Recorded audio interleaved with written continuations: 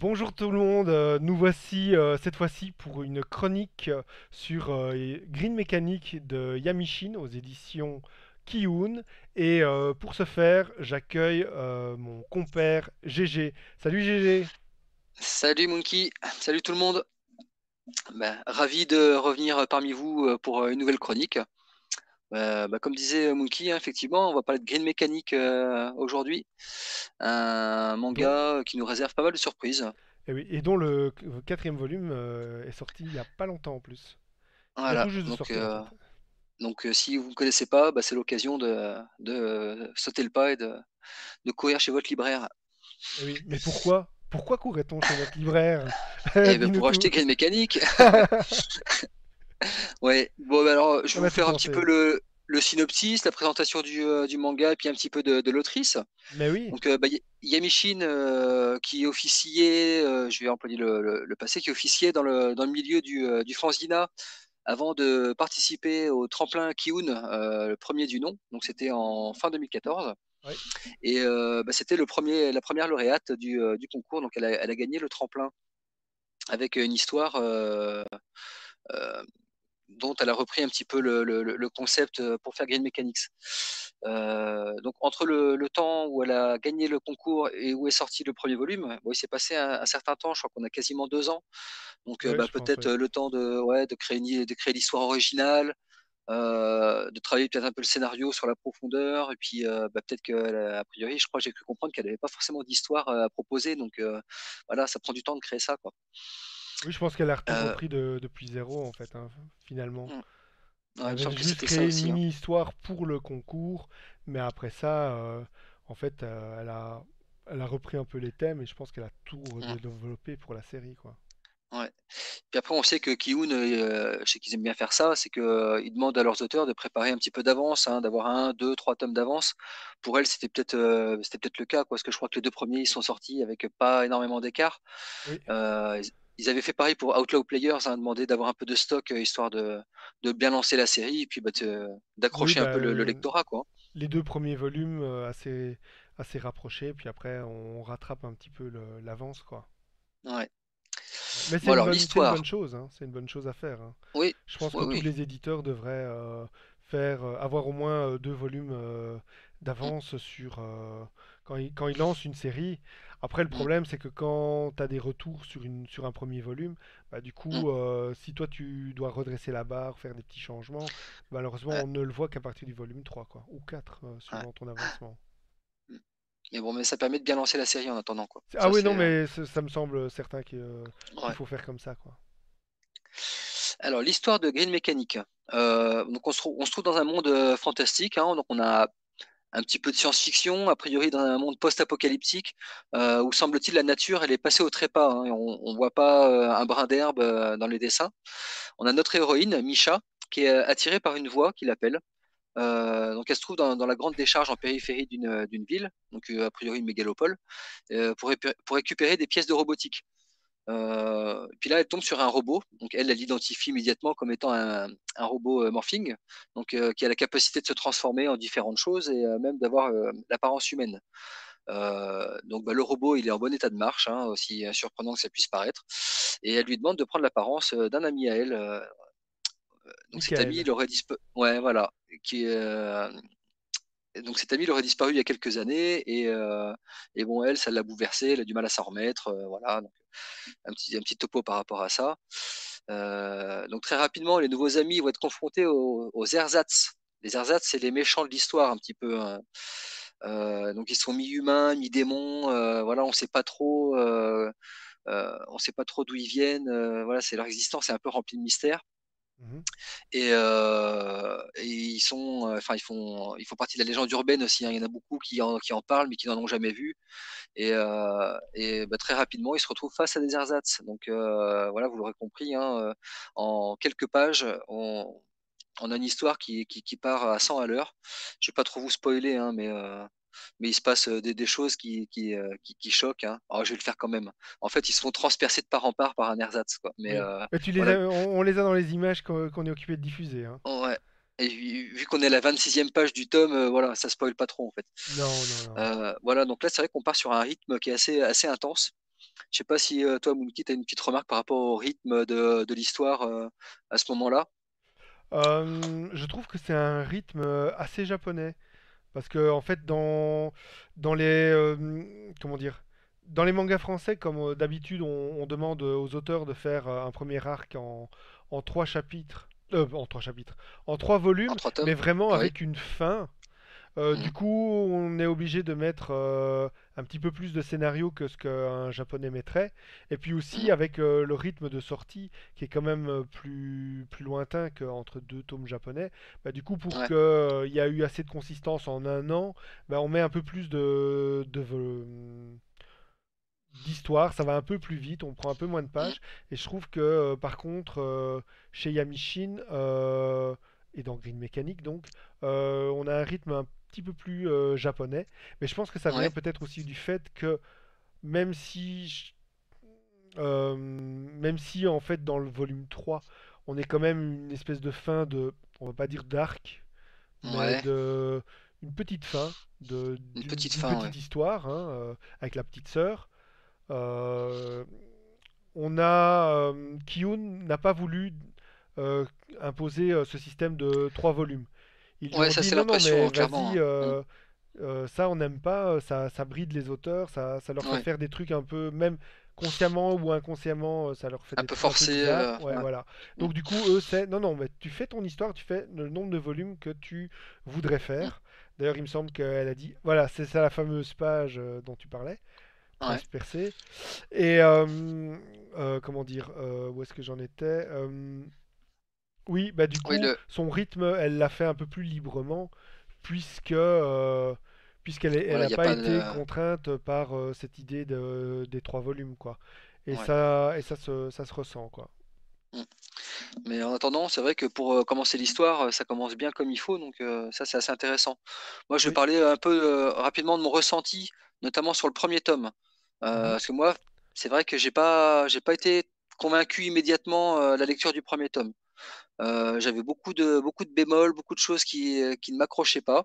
Il m'a fallu euh, une relecture, voire une deuxième, en m'attardant vraiment sur l'histoire. euh, et avec le deuxième tome, par contre, bon là, c'est, voilà, il n'y a pas eu de problème. Je suis rentré dedans et, et j'ai, par la suite, j'ai complètement adhéré sans sourciller. hein. D'habitude, d'ailleurs, on... bah, nous, d'ailleurs, euh, chez- euh, dans Parlons Manga Français, on, on essaye de lire les deux premiers volumes euh, avant de se faire euh, une idée, parce que c'est vrai que démarrer une nouvelle série, c'est toujours compliqué. mm, bah oui. Euh, donc du coup, tu as, l'introduction, tout ça, et souvent c'est au deuxième volume que tu commences à, Ouais, à- à te libérer un petit peu des contraintes euh, de, bah, de ouais, présentation. ouais. Mais euh, là concrètement, pour, expliquer quand même pourquoi je suis pas rentré dedans, j'ai quand même identifié euh, certaines choses. Il y a, il y a beaucoup de passages avec des dessins de chibi euh, où il y a un mode humoristique un petit peu. euh, j'ai l'impression que ça dédramatise un petit peu les situations et que ça ça, ça, ça coïncidait pas trop avec l'univers et avec les moments. Donc ça faisait une espèce de paradoxe visuel euh, qui desservait l'action et, euh, et la narration. Mais ça c'était vraiment c'est mon ressenti pur et dur. Il y en a il y en a pour qui, j'en suis sûr, euh, ça, ça ça leur plaît quoi. Mais Oui, oui, moi par exemple, ça m'a pas du tout dérangé, mais c'est vrai que ouais. je, je lis du manga euh, japonais depuis très très longtemps. Et pourquoi je dis japonais et depuis très très longtemps? Parce que euh, je pense que dans les années 80 et 90, euh, il y avait beaucoup plus de, de chibi un petit peu partout, euh, dans les Ouais, en mode gag ça. manga un peu. hein. Mm, Ouais, mais même dans des trucs euh, plus complexes, mm, enfin, ou dans des situations un peu complexes ou dans des situations dramatiques, il y avait quand même euh, les, les chibis qui, qui arrivaient quand même assez ouais, souvent. Et je ouais, pense que dans les mangas plus récents, ça s'est un peu perdu, quoi. Enfin, perdu ou, passé de mode ou ce que tu veux, Mais, euh, mais bon, en, en tout cas, euh, voilà, hein, au-delà de ça, la lecture de Game Mécanique, elle est quand même très très très plaisante. Euh, graphiquement parlant, déjà, on a quelque chose d'assez qualitatif. Hein. Elle a une signature graphique évidente. Euh, voilà, enfin, Yamishin, elle, elle maîtrise. hein. Euh, Il n'y a pas de souci là-dessus. hein. Et plus on lit les tomes, et plus on s'aperçoit que que son style euh, euh, prend de la maturité, de la densité. euh, les pages, elles sont euh, remplies, mais claires à la fois. Mm, mm, mm. Euh, comme on avait pu évoquer ça euh, en aparté. Mais euh, voilà, enfin là, là on a, on a, on a quand même quelque chose de, de très très très qualitatif hein, sur le dessin. Ah bah, Les moi, personnages, non, vas-y, je, je te laisse terminer. ouais. Moi, je les personnages, euh, ils sont, ils sont, ils sont bien, bien représentés. On les reconnaît. Il n'y a pas, peut, il y a pas d'amalgame possible entre deux personnages différents. Euh, ils ont leur identité propre. Les, les scènes d'action, elles sont, euh, sont visuelles, c'est dynamique, c'est, euh, ça explose. C'est, euh, enfin, franchement, c'est top, quoi. Il n'y a pas de, y a rien à dire là-dessus, quoi. Ah ouais, C'est de première catégorie. Ouais. Euh, bah, pour moi, déjà, c'est un. euh, au niveau de la, au niveau graphique et aussi au niveau euh, de la narration, je trouve Mhm, qu'on est dans les tout meilleurs mangas français. Mais mhm, pour l'instant, on parle encore de manga français. Mais un mhm, jour, on ne parlera plus que de manga, tout court. Et euh, même euh, comparé euh, de- avec tout ce qui sort en, en japonais pour l'instant chez nous, elle reste aussi dans le haut du panier, quoi. Elle Ouais. maîtrise super bien, elle dessine super bien, sa narration est, elle est fluide, elle est très maîtrisée. Euh, l'évolution de ses personnages se fait par petites touches, mais Mhm, tu vois ce que, là où elle veut en venir.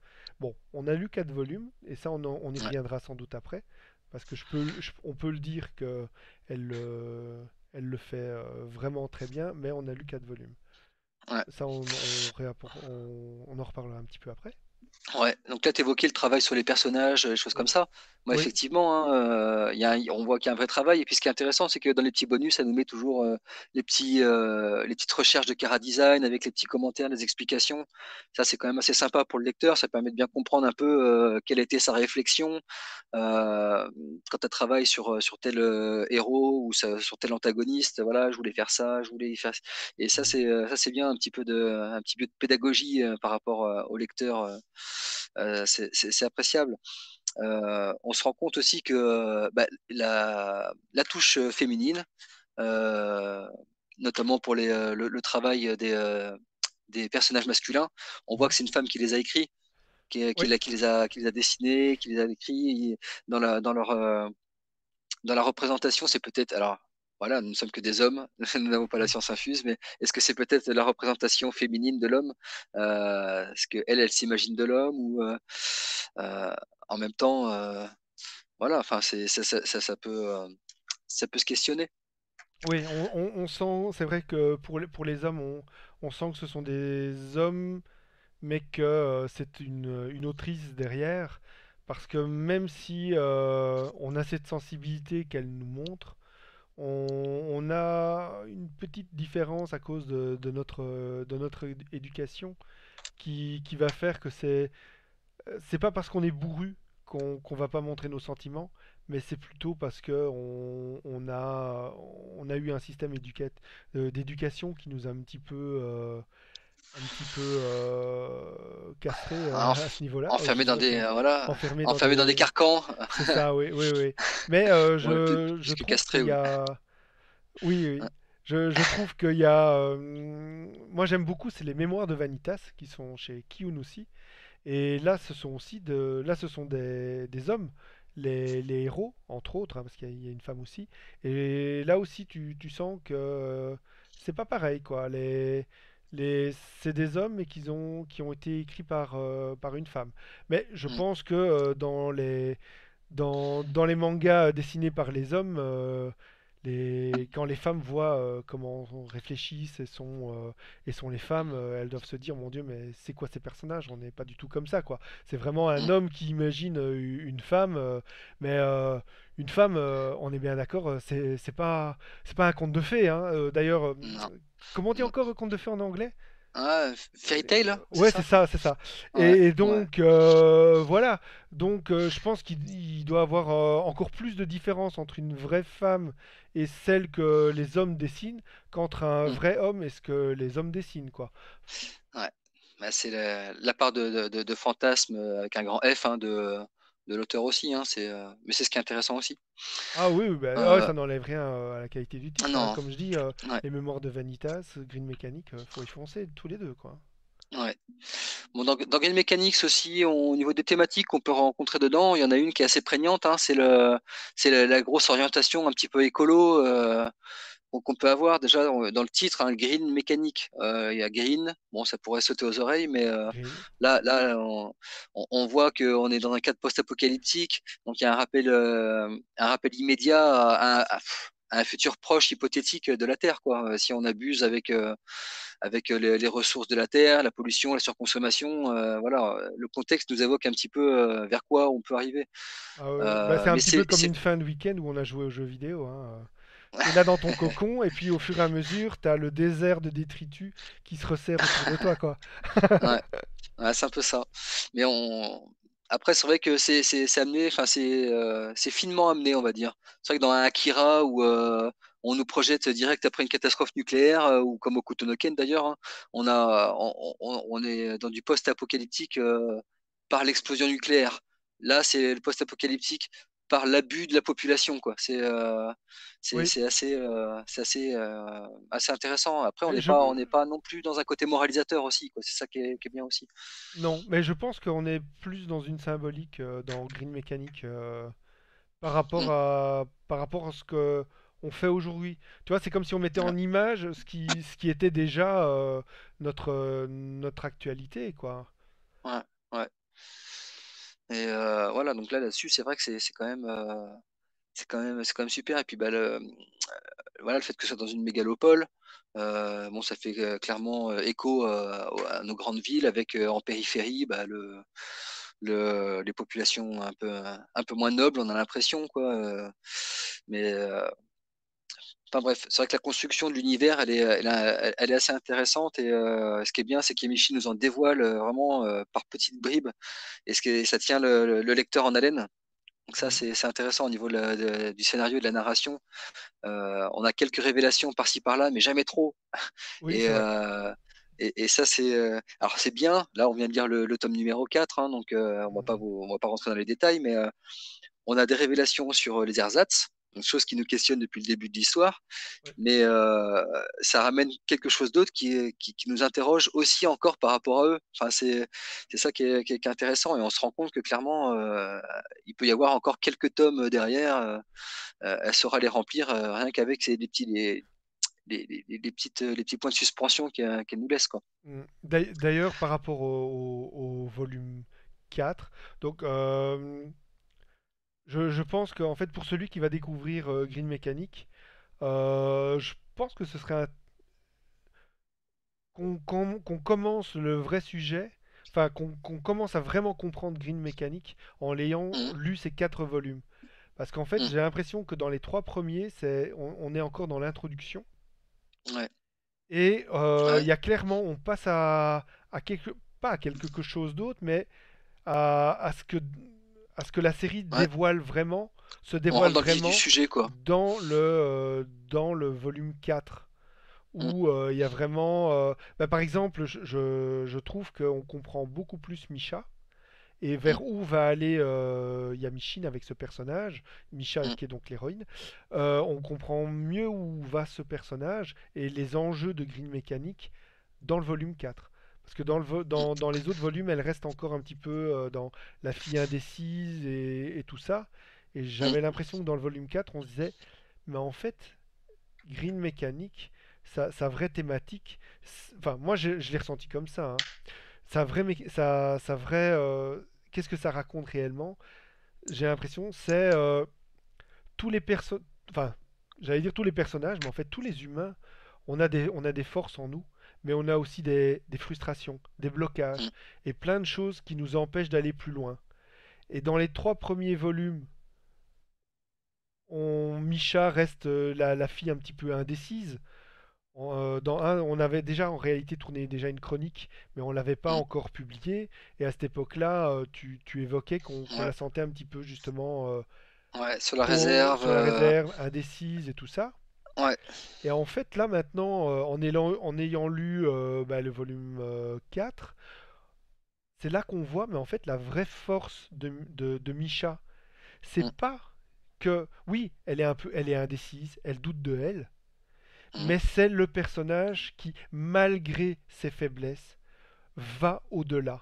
Là où d'autres personnages ont leurs frustrations, ou leur culpabilité et, qui, et que eux ils restent bloqués par ça et qu'ils ne peuvent pas aller à l'étape suivante. Ouais. Et Et ce qui est c'est ce qu'elle intéressant, c'est que c'est le, ouais. dans le volume 4, quoi. Ce qui est intéressant, c'est qu'en plus c'est le, c'est le, c'est le héros quoi. C'est le personnage principal qui, euh, tout le monde était un peu dans, dans, dans, dans dans ce même miasme, et au final, il y a euh, la héroïne qui arrive à passer le cap, à franchir ce, ce petit cap, et euh, qui va certainement, on imagine, hein, entraîner un petit peu les autres euh, dans son sillage. Oui, oui, oui, on oui, imagine oui. ça. Après, c'est vrai que dans la lecture des trois premiers, les, les autres personnages, on a l'impression que tout le monde est un peu à la même hauteur. Mhm. Et euh, c'est ce qui fait un peu la force des, des trois premiers. Mais dans, dans ce cadre, effectivement, euh, euh, elle a ce petit quelque chose en plus. Oui, oui, oui. Je, je, je Mm, pense que vraiment pour Green Mechanic mm, passe un cap, mais je pense que c'était voulu par l'auteur. On sent que qu'elle ouais, l'avait prévu comme ça. hein. Mais voilà, il y a, il y a un cap qui est passé avec, avec ce volume 4. Ouais. ouais.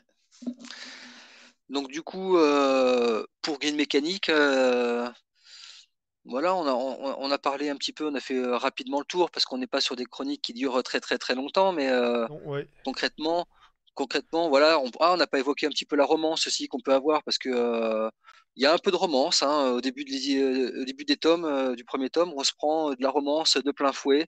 Donc là, c'est la, la- la petite euh, de plein fouet, ouais, c'est comme ça que c'est comme ça que je l'ai pris, quoi. Comme C'est ça, tu l'as appris. Une Eh, vague d'amour. eh, disons qu'en fait, euh, ce, que je trouve euh, très intéressant, euh, c'est que on parle souvent que voilà, le manga français n'est pas obligé d'être cloisonné entre voilà, c'est du shonen, c'est du seinen, Ouais. c'est du shoujo. Et je pense qu'une des séries qui, qui montre qu'effectivement elle peut, elle peut mêler vraiment les, les trois Mm, de façon harmonieuse, c'est Green Mechanic. Ouais. Euh, bon, Bon, il est estampillé Kiyun Shonen, mais euh, oui, mais c'est pas, euh, bah, mais pas, au-delà de ça, voilà quoi. Ouais, je suis d'accord avec toi. c'est pas du shoujo non plus. Mais je veux dire, euh, elle reprend les, les qualités des, des trois. Après, c'est pas non plus, Ouais. on n'est pas obligé. si on n'a pas envie de mettre, si on avait envie de faire un pur shonen, on fait un pur shonen. Mais je veux dire, là, chez elle, on, on sent qu'elle lit des, des trois et qu'elle le met avec sa propre sensibilité. Euh, Regarde-moi cette page magnifique à l'écran. Et euh, on sent que voilà, elle, elle dépasse, elle dépasse vraiment les carcans euh, de, des, des magazines japonais euh, qui, qui nous classifient. Mm, Voilà. ouais. Et de toute façon, on peut le dire, c'est un des meilleurs mangas français et c'est un des meilleurs mangas tout court qui est publié pour l'instant. Et euh, c'est vrai que pour la petite anecdote, euh, j'ai une, une librairie dédiée, dédiée, enfin, dédiée au manga euh, qui vient de s'ouvrir dans, dans ma ville euh, de Poitiers. Et euh, le, le gérant ne, savait pas que c'était euh, un auteur francophone, quoi, une autrice Ah ouais. francophone. Donc je lui ai dit, ouais, mais tu peux le mettre avec euh, dans ton rayon FR si tu veux. Ah bon et tout. ouais. Donc c'était marrant. euh. Comme quoi, bah, c'est vrai que quand on le voit, on se rend pas compte que d'un point de vue qualitatif, on a, on a quelque chose euh, d'a- d'assez, d'assez top niveau, quoi. Donc ça c'est, euh, Oui. Bon, après, c'est mais pas euh, parce que ça, ça ressemble à du japonais que c'est meilleur. hein. ouais, Il y a ouais, des, il mais y a euh, des, c'est il y a des titres qui ont une patte euh, un petit peu différente, hein, pour pas dire franco-belge, parce qu'il y en a qui ont un petit peu des, ils aiment bien du comics ou n'importe. C'est ouais. pas, pour moi, un, un bon manga euh, français, c'est pas forcément un manga qui se rapproche euh, d'office non, du, non, du manga japonais, quoi. Mais c'est vrai que c'est, mais c'est vrai que c'est, c'est, c'est rigolo de, et même, Mm, oh, il y a, y a déjà quand même beaucoup d'années. Il y, avait eu une anecdote, euh, c'était Shonen d'ailleurs, qui est aussi chez, chez Kiun, ouais, euh, qui, qui- qui avait raconté, euh, il, il prenait son titre de l'époque, parce que tu sais, il a fait quelques séries, il prenait le titre de l'époque, et donc un, un gars, hein, et- enfin un gars ou une fille, et qui il le feuille, et il pensait que c'était un manga japonais. Et au moment où, euh, du coup, Shonen fait Ah, mais c'est un manga français, c'est moi qui le dessine. Du coup, la personne fait Ah, c'est un manga français. Et hop, elle leur dépose. Ah, Mais bah ouais, non, mais ça, si c'est ça te plaît, achète-le, c'est clair. Mais ça, c'était Bon, typique d'il y a quelques années. ah Maintenant, ouais, ça c'est l'est, ça. ouais, ça l'est beaucoup moins, Mais, heureusement. mais voilà Mm, quoi. Ouais, bel apport. Euh, euh, bon, ben, pour guide mécanique, nous, on vous conseille vraiment de, de- de tester la lecture, hein, Oui. vraiment, hein, parce que là, euh, au niveau des, des- des- des- gros points positifs, on a un dessin qui est de très bonne facture, un scénario qui se développe petit à petit, qui a l'air très très bien pensé, qui, euh, qui nous donne de quoi réfléchir sur la suite à chaque fois. Donc les, les relations, les ersatz, les miliciens, les, les héros, franchement, toutes les pistes qui, qui commencent à s'ouvrir. euh, voilà, enfin, on, on- on a hâte de savoir comment ça va être traité. Ah ouais, euh, on, n'hésitez on pas à y aller, le quoi. volume 5 là, Franchement, euh, maintenant. hein. ben maintenant, ouais, Yamishin, hein, euh, si tu ouais, nous ouais. entends, Ouais, mais je crois on que est, euh, là, euh, elle on travaille est de euh, tout cœur avec toi. d'arrache-pied. Ah ouais, non, c'est clair, c'est clair. Et, euh, hein. Félicitations. Bah, déjà, déjà, pour Mm. l'ensemble des quatre volumes. Et euh, le quatrième volume, là, euh, il y a le petit coup de boost, là, en plus. euh, bon, qui était amorcé en réalité dans le 3. hein. parce que le 3, c'est un volume un peu de transition. hein. On termine Mm. l'histoire qui est la mini-histoire qui est entamée dans le 1 et 2. euh, puis tu as une petite transition, puis on démarre en fait euh, le Ouais. volume. Le début du volume 4 en fait est dans le volume 3 quoi. Mm. Mais euh, ouais ouais non franchement euh, faut, faut, faut pousser. si ça vous accroche un petit peu, mais que vous vous dites ah mais est-ce que où est-ce que ça va Non non, vous inquiétez pas, elle sait où elle va quoi. Ouais. Si vous, vous savez pas, elle sera pour vous. Ah voilà. Eh ben on va les remercier tout le monde. Ben, voilà. Voilà, on va vous dire euh, de vous abonner, d'en- de- d'enclencher la petite cloche euh, de YouTube. Et euh, on vous remercie d'avoir écouté cette chronique. Et on N'hésitez pas à commenter, à partager. oui, commenter, partager. Euh, c'est comme ça qu'on pourra continuer à évoluer et à, et à faire connaître euh, le manga Mm. français euh, Ouais. à plus de Ou à gens. débattre éventuellement sur la chronique s'il y a des choses qu'on dit euh, qui vous interpellent. euh, Tout à c'est l'occasion aussi. tout à Mm. fait. Toujours dans le respect de tout le monde, bien sûr. Ouais, bien entendu. Même sur Twitter. Mm. Et, euh, et on vous souhaite euh, une bonne fin de journée et euh, à très très bientôt pour une prochaine chronique ou interview. Salut tout À le bientôt monde! tout le monde.